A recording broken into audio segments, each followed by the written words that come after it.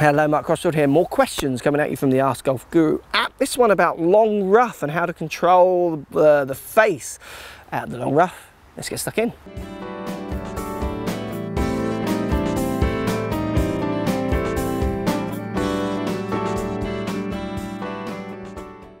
So question here, we're talking, hey Mark, I've watched most of your videos on YouTube, loving the long matches especially, thank you.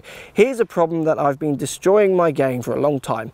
Whenever I find myself in deep rough, long grass or weeds, I tend to pull my shot up to 45 degrees right, because he's a left-hander, so let's say left for us and right for him.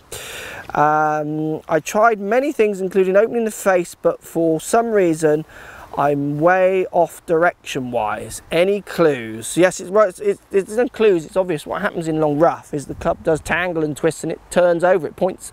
So for me, left, you right. You need to stop that happening. That's the only thing you need to do. Some people start with the face open at the beginning, so start with it pointing off to the right to allow for a degree of tangle. Me personally, I do a few things. The first thing I do when I'm in long rough is make sure I add loads of speed to my shot. So I feel like I hit it as hard as I physically can. The next thing I do when I'm in long rough is I make sure I drag the handle through as I try and apply pressure across that club to cut through the grass. So I feel like I'm swinging really hard and pushing on the club as I pull the handle through to keep the face pointing to the right, to try and beat the grass. That's the biggest thing I do, which tends to help me with pulling. The next thing I'll tend to do as well is our aim right, face and feet, pull hard, bail to the right if it goes straight, if there's room there, knowing it can pull back and when it hits target, go, yep, good shot, thank you, wasn't a pull, it was a good shot. Um, see what I mean? I'm just doing everything I can to defend that left. You've got all the right ideas, your ideas are in there in the question you say, all the things you should be doing, you're just not doing them.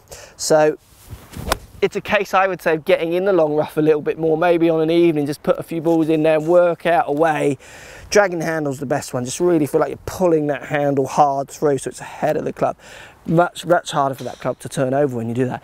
Get in the long rough and practice doing that until you find that feeling that allows you not to turn the club. You've got the answers, you've said all the right things in the question, you're obviously just not performing them get out there and practice it a bit more. Having the answers, it's always an interesting one. Sometimes when people say questions like this, they have the answer in the question. It's more you just need to practice more.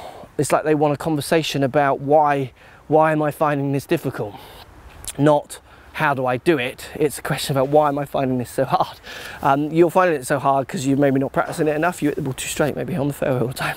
Let me know. Post comments. Post uh, comments down below. As always, thanks for buying the app. Thanks for the question. Thank you for watching the videos. Speak to you soon. So if you like what's going on here, don't be afraid to subscribe to the channel. Also thumbs up the video, post comments. Love to hear what you guys got to say. Let's keep it social. The more we talk, the more we share, the easier this game will get for, uh, for everybody. So if you want to find me on Facebook here, you can find me on Facebook. If you want to tweet me, find me on Twitter here as well. Just follow the links all in the description. Come and join the show. Get active, get involved, get playing some better golf. Thanks for watching.